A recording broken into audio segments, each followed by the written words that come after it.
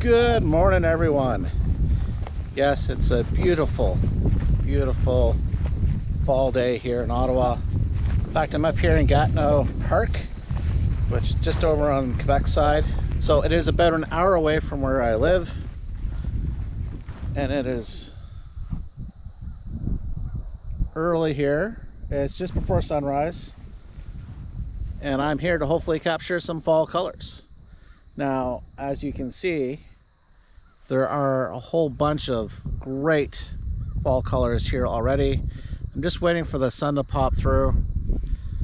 The sun is supposed to be rising. Well, it's still rising. The sun will rise. Just whether it gets through these clouds, it is rising behind me over here. And if I get very lucky, and if that cloud actually breaks up a little, the trees over there will light up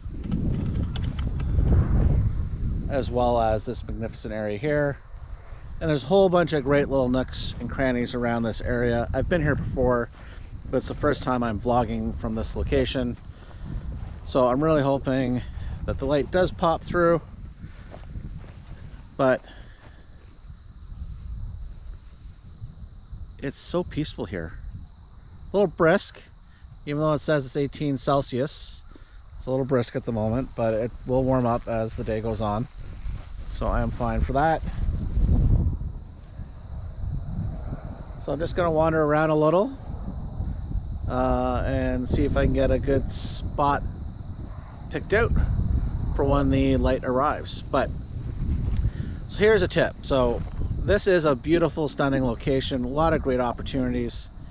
But what I have to do is wait and look for the light. Today will be about following the light, finding the compositions the light presents. So sometimes it's good not to force a situation and just allow the situation to dictate what you're going to photograph. And right now, that is the plan for this morning. So I've worked my way down to a potential location. Now, this is actually still a little more of a scouting mission. Uh, it is 720 so it's about 20, 25 minutes after sun was supposed to rise. So obviously the sun has risen, but there's still a lot of cloud cover in this area. So it's really, and there's a lot of gnats and bugs down here. Uh, so it's really a lot of diffused light. So it's really not what I'm looking for, but I had the drone up and as you can see here, I kind of flew to this location. Now, the drone was obviously higher than me and I've come down a bit of a hill to get to this location to where I am with this tree and that water. So I'm gonna check this out a little more, but I was hoping this would be a nice, interesting location because obviously I gotta be careful because I don't want to fall in the stream. And there's very grippy things. So I don't want to fall in the stream just kind of got this dam, I assume a beavers had kind of put up or something at some point, or just fell trees just laying there. Um, but with the colors in the background, I was really hoping to get a nice layered shot, but with a reflection. Now, I can't get the reflection and really the background there. And I'm pretty close, which means I'd be pretty much shooting up or down, only getting part of the tree in. So I'm, I'm not sold on this location anymore. So what I'm going to do is I'm going to hike back up and look at it from the top of the hill. So I don't really think this location is going to work, at least for what I'm thinking at the moment. I was hoping for a layered approach, but unfortunately the top of the tree from this hillside is still higher than what I'd like. I get a bit of the water, but it's not the prettiest of water.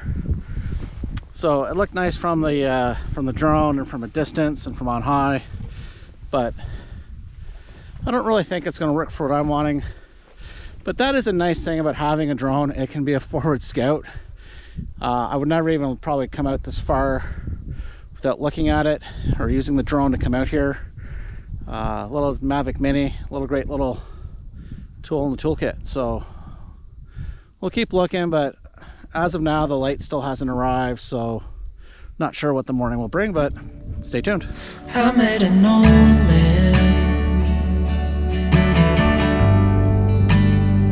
I said, tell me your story.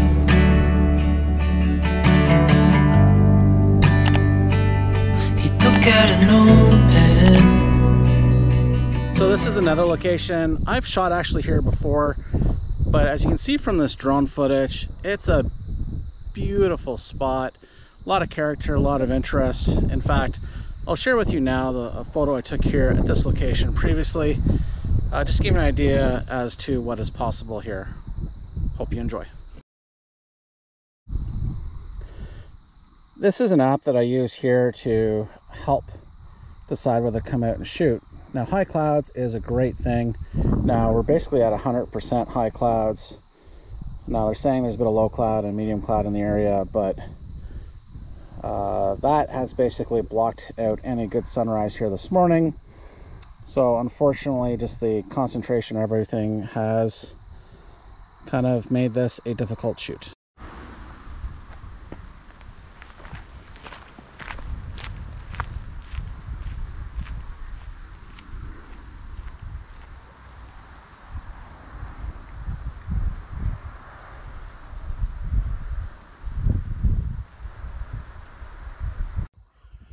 So unfortunately, the clouds uh, have never really dispersed. Uh, it's still extremely overcast here.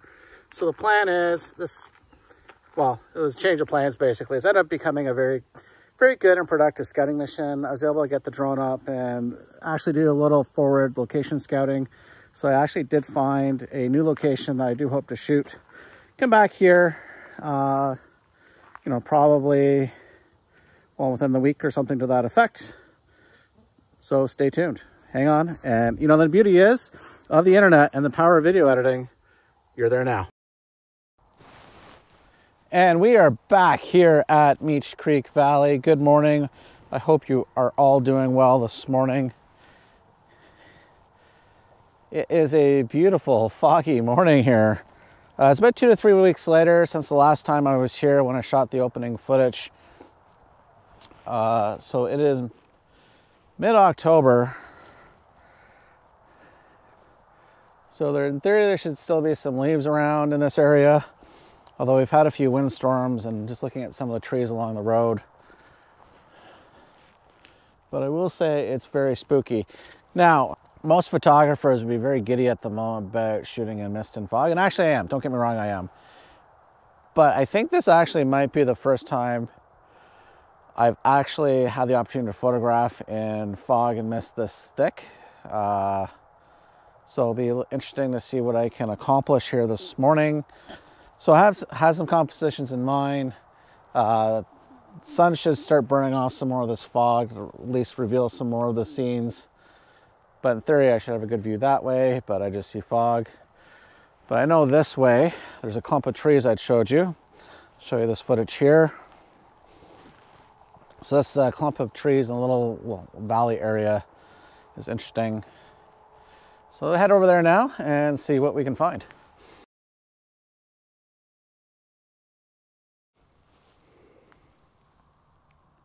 So we're at f11, one quarter of a second, ISO 100.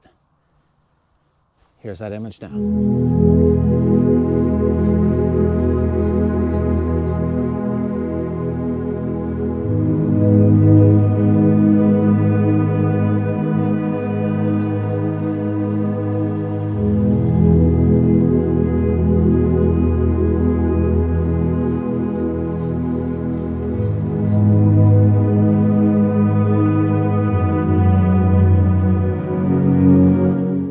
Have changed locations here at the Meech Creek Valley. In fact, I am in theory at the Meech Creek Valley Bridge. What? You can't see it?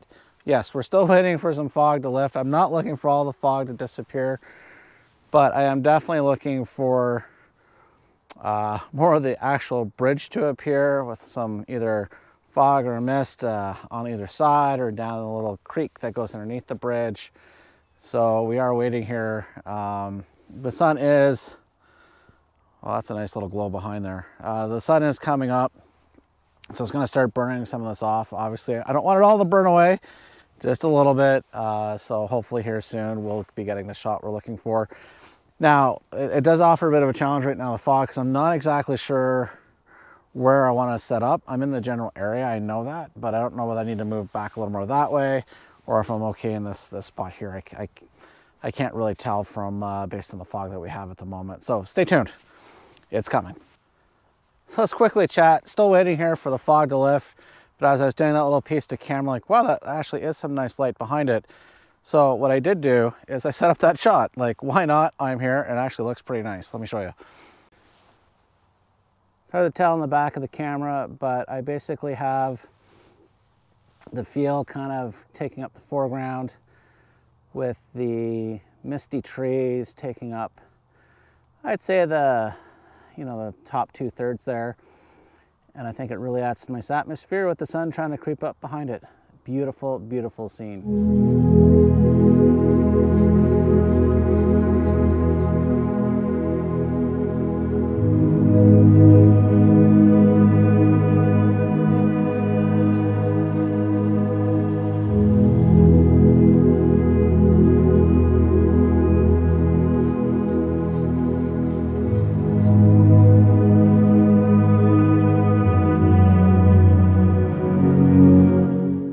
So what I've decided to do while waiting for the shot here to open up at the Meech Creek Valley Bridge is I actually have set up this time lapse behind me, catching this nice warm misty glow because the sun is obviously rising behind me.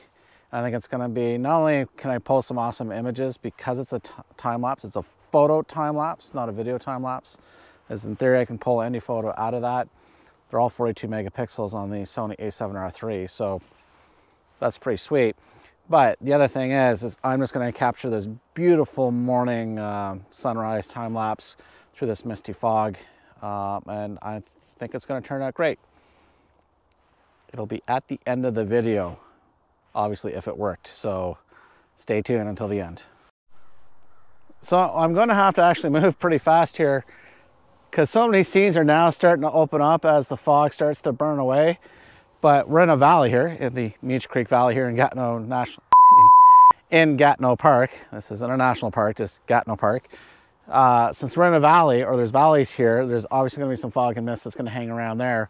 But it is opening up the treetops over here, as well as my bridge over here. So I'm quickly gonna grab some shots of this, but I'm also gonna look for some compositions that's gonna capture the fog in the lower valley but capture the fall colors that are still on the trees uh, behind it. I think it's gonna look smashing, so let me get at it.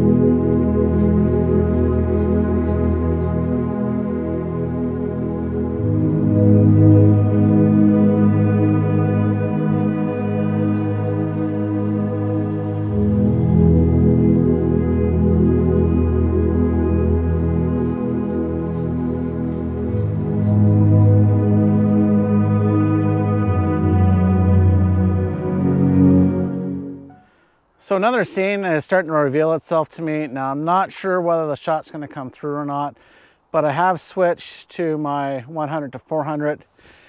And that's because in the background, the mist is opening up uh, certain scenes of the trees backdropped against the, uh, the higher trees there in the, in the further background.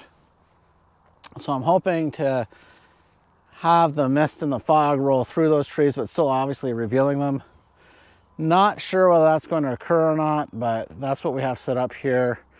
Obviously, I'm keeping my eye open for other scenes. Now, the lower field has kind of cleared itself of the fog and it's kind of shifted, blocking the, uh, the trees further in the background. So really hoping uh, this shot opens up or actually maybe over here. So this is a quick tip and it's, it's something that I've learned and I have to always try to remember is don't get target locked on one photo. Keep your head on a swivel and keep looking for other compositions that may open up while you're waiting for one that, uh, that you think will work. So I'm gonna get out of here because the sun is rising. It's about uh, 50 minutes past sunrise. So the best of the light is almost gonna disappear. But while we got the mist and the fog, I'm gonna try to see if I can make this work. So what I have set up here is the 100 to 400. I have it on a 10 second self timer. Uh, I did put on my polarizer to cut through some of the, the mist and fog to really bring out the trees that are getting side lit in the background here. So I'm gonna play with a few more compositions here and I'll show you my favorite from this particular little, little area right now. Right now, here, somewhere. Stay tuned.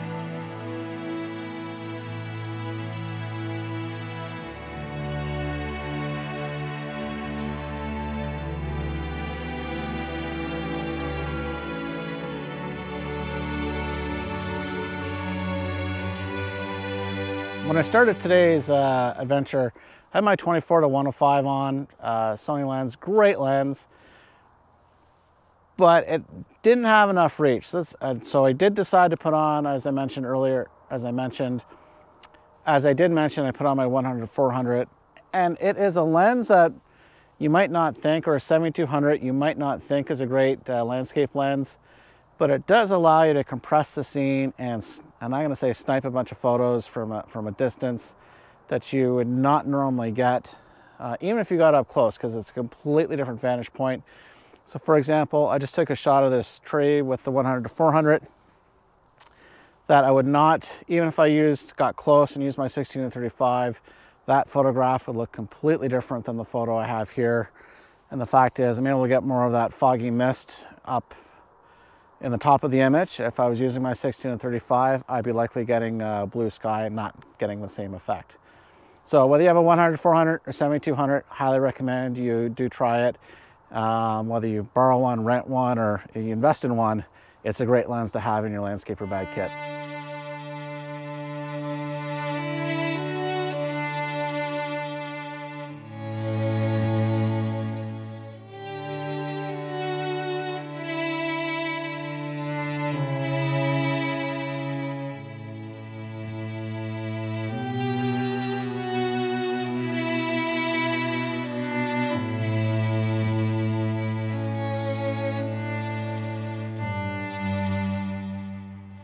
So I've lined up this shot here.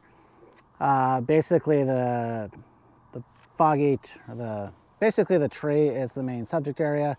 It's got a little bit of foreground interest, but I have framed that basically, it's almost on the top left uh, third.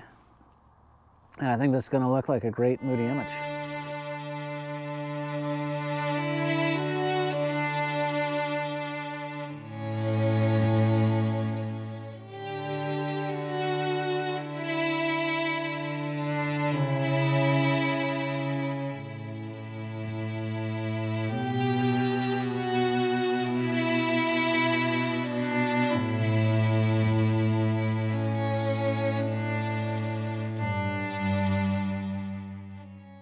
We're not packing it in. No, no, no, no.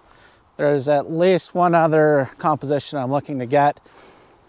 Uh, and it's all the way back that way. Drove past it this morning. I've, I've seen it before. I've had my eye on it before. And there's still some mist and whatnot down in that area. So I'm gonna book it down there because it is also a bit of a hike to get to it. Even though there's a, a road, like a little path. Uh, I can say it's probably more likely a farmer's road that the NCC has there. But uh, it is gated off and closed at the moment. So I will have to hike into it. But that might be the last shot of the day. We will see. We will see together. Let's get going. All right, so hurrying along here, so it's a short drive to where I'm going, or so it's a short drive from where I was to where I am right now. You can see I'm on this uh, little road here, little farmer's road. And I am trying to get to that area over there, I'm trying to get to that area fairly quickly. So pardon the lack of cool cinematic B-roll at the moment, but we are hurrying against the light and the mist. So I'm gonna huff and puff and move as quick as I can.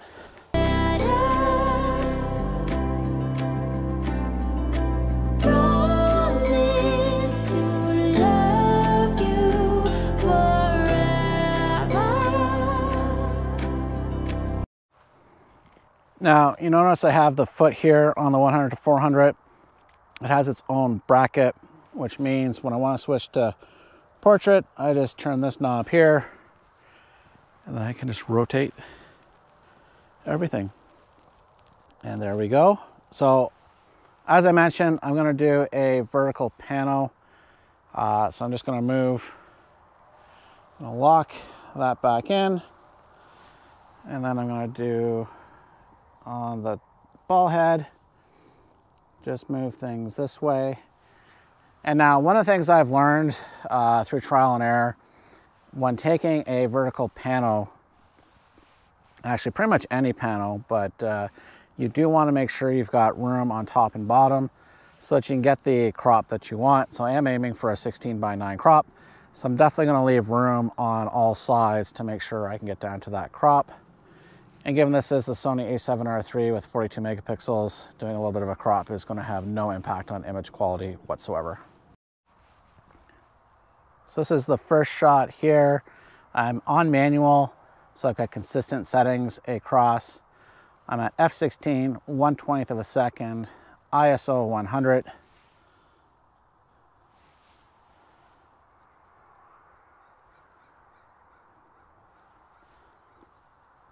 Ten second timer will take longer than the photo itself.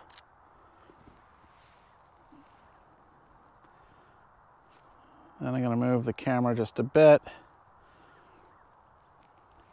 Once again, 10 second timer. So I'm definitely gonna have overlap. So this is gonna be a three to four image uh, pano, which as I mentioned, I'll crop down to my 16 by nine format. And what is nice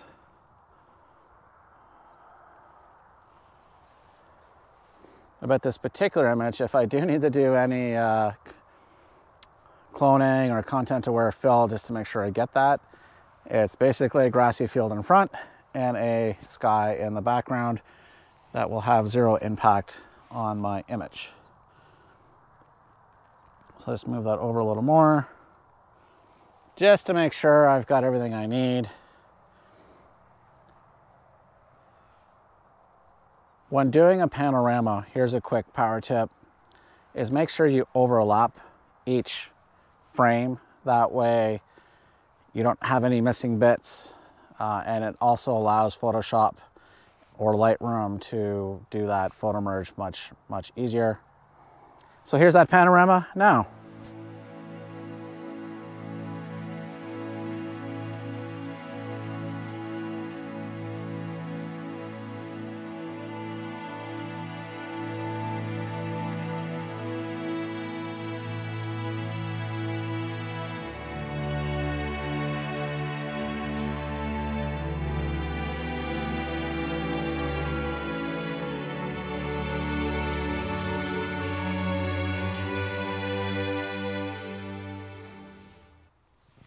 Must say this has been a beautiful, stunning morning. When I woke up this morning, I'm like, okay, there's gonna be a little bit of clouds. Hopefully there's some over uh, Gatineau Park. And then as I crossed from Ottawa into Gatineau, going through downtown Ottawa, I started seeing the fog. And I'm like, okay, well, we'll see, we'll see if it's in Gatineau Park. But then as I drove into Gatineau Park, I could start seeing all this fog in the valleys. I'm like, okay, this is going to be a very interesting shoot. And as I mentioned earlier, I have not really had the opportunity to shoot in uh, like fog such as this. And I will tell you, I, I really enjoyed myself this morning. It was amazing. Uh, I, as I said, I don't always get the opportunity. So hopefully you guys get that opportunity as well. And hopefully uh, this morning, I've inspired you to try a few different things. And more importantly, looking at investing in a long lens because long lens photography in landscape, because long lenses in landscape photography is a very nice piece to have in your kit. Uh, it allows you to compress the scene and get images that you probably wouldn't normally get. So whether it's a 7200 or 100 400, highly recommend you, you add one there. Hope you've enjoyed today's adventure. Uh, if you liked today's video, please like, share, and subscribe. And do let me know in the comments below which of the photos uh, from today's adventure is the photograph that you enjoy the most. Thanks very much. Bye for now.